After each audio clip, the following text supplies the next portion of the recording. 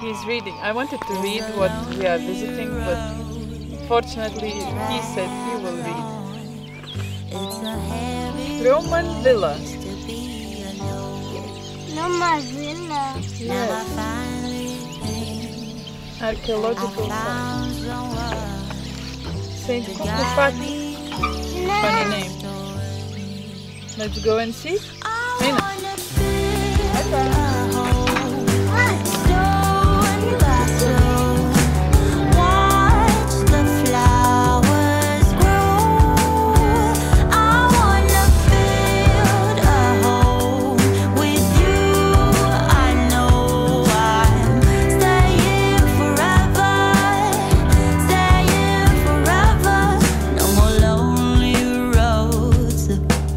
Travel on. Don't have to face the thought of being alone.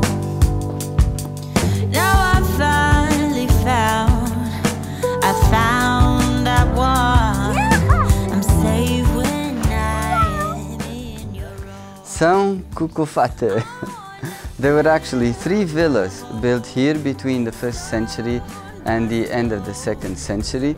The largest is the one that we see the remains here. It was apparently a bishop's villa, so good for the bishop, no? He lived quite well.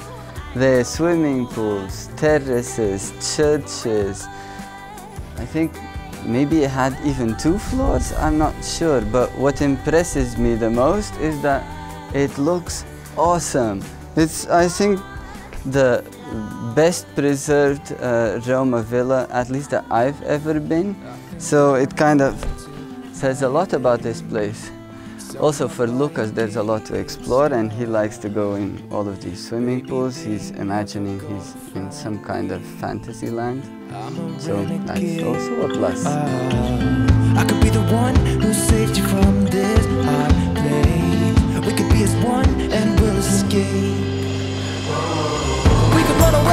Don't gotta stay. I can feel it,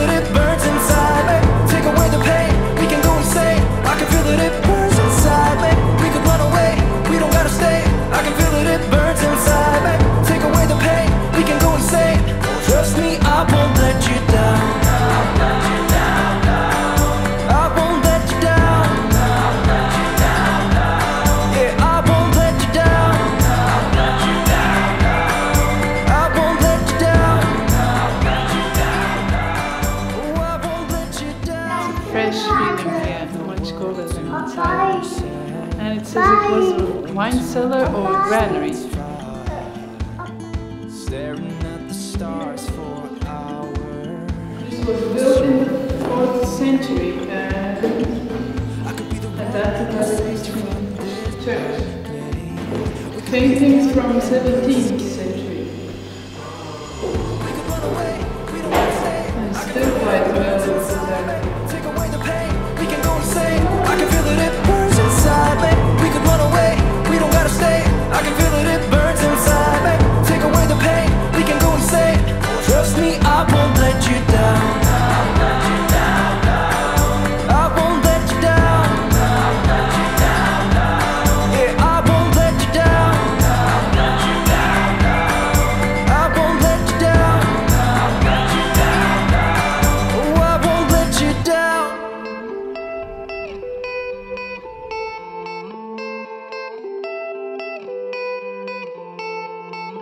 Some gates never get to open cause it's too late.